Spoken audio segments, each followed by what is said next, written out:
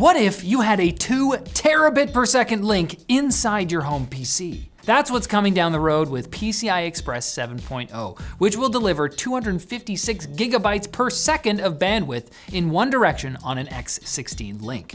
By contrast, the PCI Express 4.0 slots that many of you have in your computers today only support an eighth of that.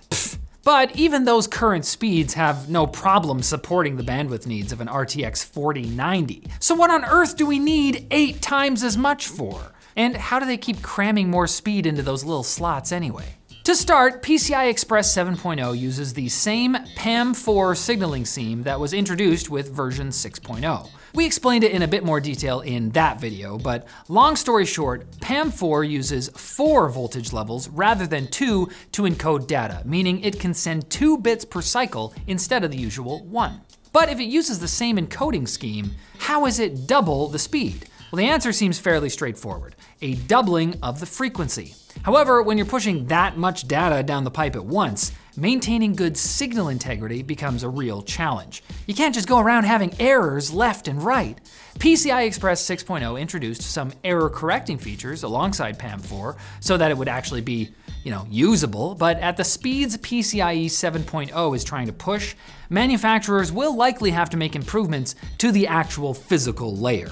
This could take the form of anything from better materials like more robustly built PCBs to optical solutions that offer better signal integrity than copper. In fact, the PCI Special Interest Group, or PCI SIG, an industry association that's responsible for developing the PCI Express standard, has already formed an optical work group to make sure the PCI 7.0 spec, as well as future revisions, will actually be feasible. This even includes using full-on cables instead of copper traces in some situations.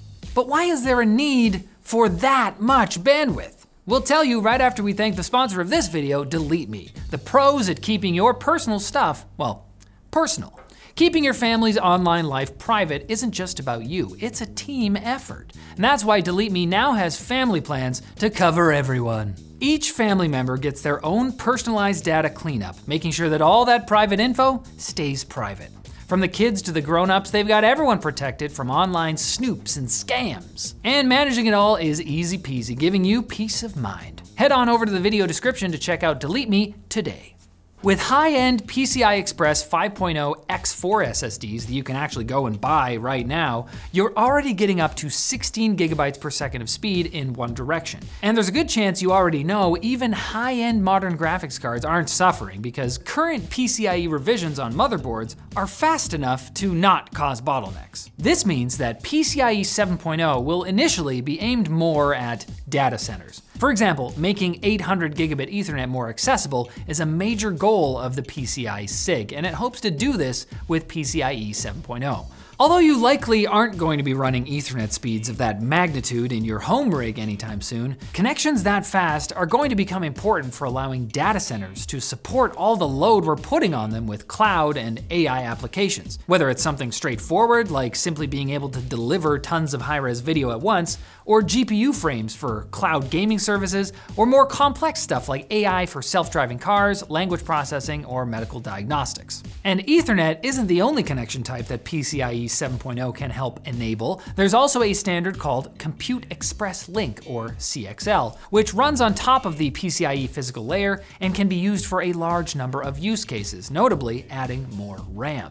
With the applications we mentioned demanding not just more speed, but also more memory capacity, CXL over PCIe 7.0 looks to become an easy way for data centers to significantly increase how much RAM they can fit into a server. We likely won't see products featuring PCIe 7.0 until the latter part of the decade, probably 2027 at the earliest. And if you're waiting for a PCIe 7 SSD to pop into your PC, it will likely be even longer than that which is unfortunate for those of you who are very concerned about saving an extra second or two on load times in your favorite game.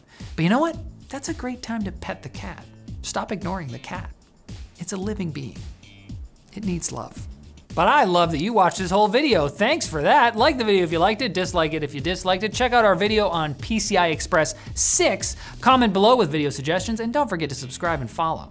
It'll do yourself a favor.